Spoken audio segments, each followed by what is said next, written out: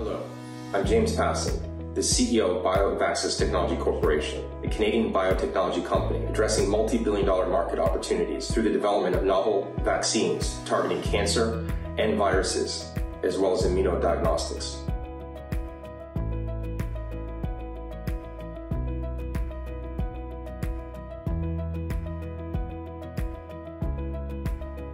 Haptenization is an immunological trick that makes the immune system respond to things it is programmed to ignore.